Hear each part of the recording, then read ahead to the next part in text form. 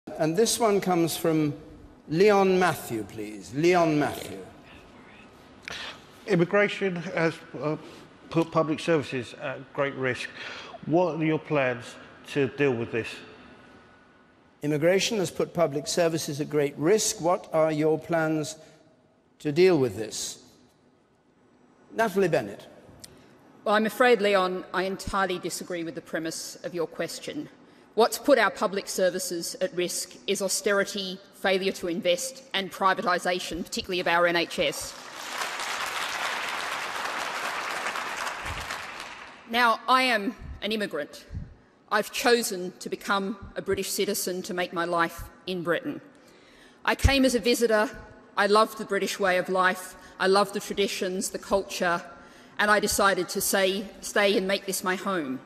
I went into politics because I want to improve that, I want to protect it, and I want to make sure the vulnerable and our natural environment are protected.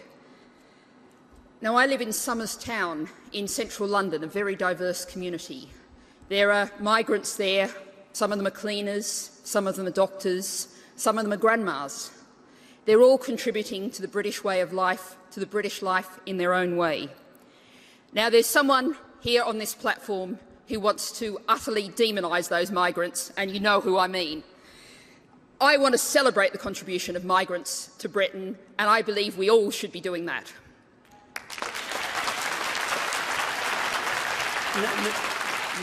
Nicholas, Nicholas Sturgeon. We need strong controls on immigration, of, of course we do, and we need to make sure that people don't get away with abusing the system that the rest of us pay for. And yes, there are parts of the UK where housing and public services are under real strain. But I think the answer to that is to build more houses and invest in our public services, not to scapegoat immigrants. I fear that the debate at Westminster on immigration is driven far too much by Nigel Farage and UKIP. I think it's important that we do remember some key facts EU immigrants to our country do make a net contribution to our public finances. A majority, a clear majority of migrants work and pay taxes. A majority of those who don't work are students. And of course, hundreds of thousands of people go from this country to other countries all of the time to live and settle there. How would we feel if they were spoken about the way we sometimes allow migrants here to be spoken about? So let's have the debate, let's not duck the issues, but let's make it civilised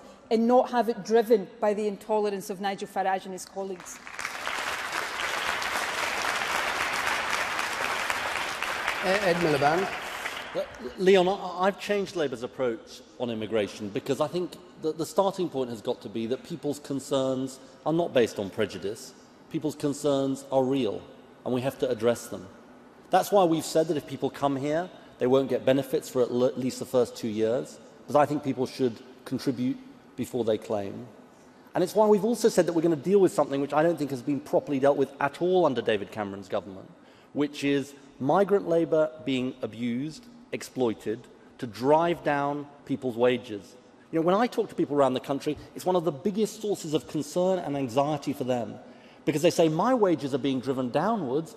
You've got migrant labour being brought in, paid less than the minimum wage, and nobody's doing anything about it. It's time to act. It's time to act on the rogue employers. It's time to act on the gangmasters. It's time to act on the rogue landlords. It's time to have fairness because I'm going to counter exploitation wherever I find it because we're going to protect the working people of this country.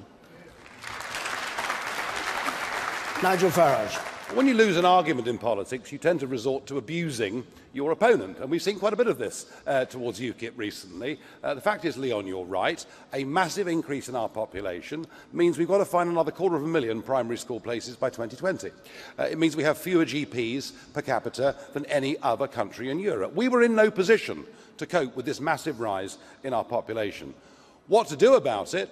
Well, we have to be honest and we have to say if you're EU members, you cannot do anything about the numbers coming to Britain. My plan would be to have a trade relationship with the EU, to be good neighbours with the EU, but not to be a member of a political union, to take back control of our borders and to put in place an Australian style point system. so we can choose the quantity and type of people that come to our country. We would no longer discriminate against people from India in favour of Eastern Europe. It would be a fair, ethical policy and it would work.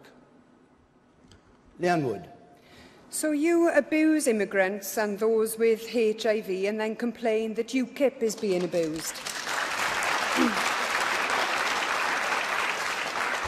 Now, there is a risk to public services, but I don't believe that that comes from immigration. I believe that that has come about as a result of cuts. So the answer to that is to end austerity. There are scarce resources. There aren't enough to go around. Now, our public services, especially the NHS, would collapse if we were to end immigration tomorrow. Now, there are real issues in terms of the driving down of wages, and uh, that has to be addressed. And the way to address that is to raise the minimum wage to the living wage and to strengthen trade unions. We should be looking at repealing the trade union legislation that Margaret Thatcher brought in, because if you have stronger trade unions, then you have a stronger defence.